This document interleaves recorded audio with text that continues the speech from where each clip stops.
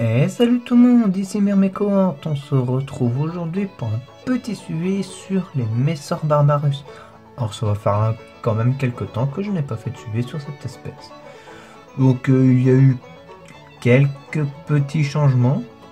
Donc euh, comme vous pouvez le constater, j'ai acheté un abreuvoir sur Formium et j'ai également fermé le nid qui est ici, le nid principal. J'ai également aussi fermé là, donc euh, bon, depuis l'arrivée de cette aire de chasse. Donc ici, comme ça, on peut observer que les fourmis en ont fait une salle.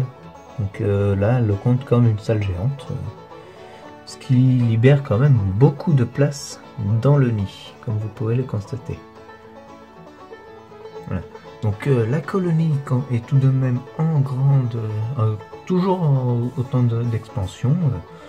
Voilà, je les nourris toujours tous les deux jours comme toutes mes colonies, avec grillons ou euh, ça dé- là j'ai essayé de leur donner un petit peu de euh, sur du coton, du lait avec du miel, mais sinon en général c'est des graines. Alors cette fois j'ai mis un peu plus de variété dans les graines. Maintenant je prends des graines de pissenlit, des graines de canari ou également du quinoa bio. Donc j'ai aussi euh, différents euh, paquets de graines de canari. J'en ai deux, deux différents, comme ça au moins ça fait encore plus de variété. Mais prochainement, je vais également leur donner aussi des vers de farine dont j'ai commencé l'élevage pour pour essayer de faire un élevage nourricier. Donc comme vous pouvez le constater, là on peut voir même un gros major se déplacer dans le tube. Donc je pense également aussi à investir dans des tuyaux plus larges, plus gros, afin de faciliter euh, la, la circulation entre les nids. Donc entre ce nid-là et puis entre la DC.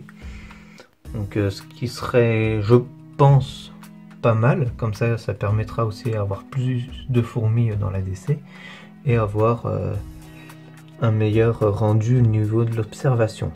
Du moins un rendu plus naturel, je pense. Donc au niveau du couvain, alors je sais pas trop où il y en a, mais je pense qu'ils euh, qu'ils- l'ont caché. Avant, ils l'avaient mis ici, là, dans la, au point le plus chaud, dans le nid, euh, là où il y avait la lampe chauffante, dans le grenier.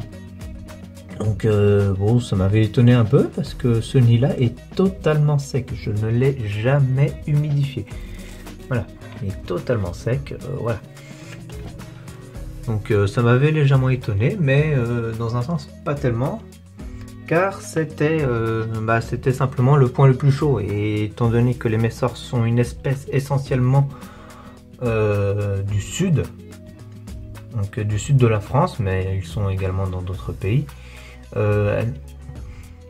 donc elles sont, elles aiment bien les chaleurs, la chaleur.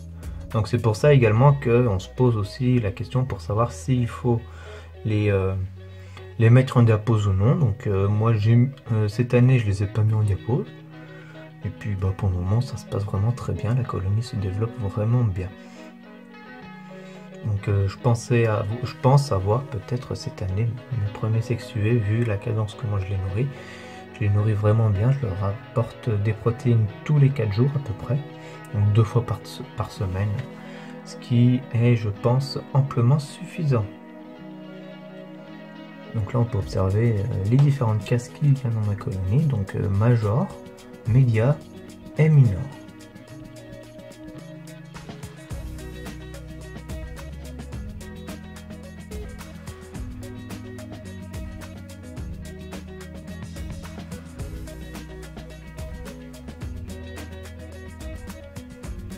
Donc voilà, c'est sur ces images-là que je vous dis à la prochaine pour une future vidéo. Ciao tout le monde